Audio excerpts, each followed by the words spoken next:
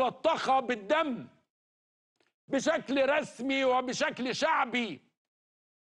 عشرات الآلاف في الشوارع يودو يعني بيقوموا دي لندن بالإدانة الواضحة لما يحدث ويراه العالم على شاشات التلفزيون.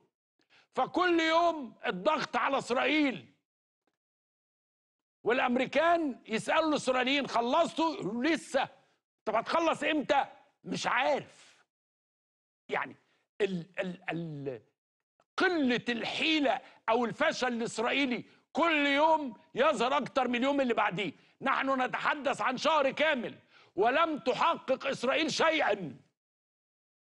نعم نحن الآن نقترب من عشر تلاف شهيد وأنا قلت لحضراتكم في أول هذه الأحداث إنه الناس اللي جوه البيت الفلسطيني يتوقعون حرب تصل إلى سنة وعلى الأقل عشرين ألف شهيد. فنحن اليوم نقترب من حجز العشر تلاف شهيد أو أكثر. هذه المشاهد أمام منزل نتنياهو نفسه. الضغط عليه داخل إسرائيل. أين أسرانا؟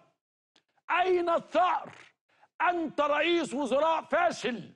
أنت لا تصلح لقيادة هذا البلد.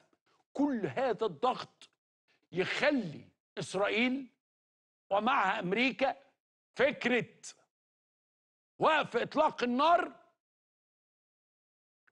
هو ما يقرب من نصف انتصار لحماس. يعني لو درجة الانتصار عشرة أول ما هيتوقف إطلاق نار ادي خمسة لحماس وصفر لإسرائيل.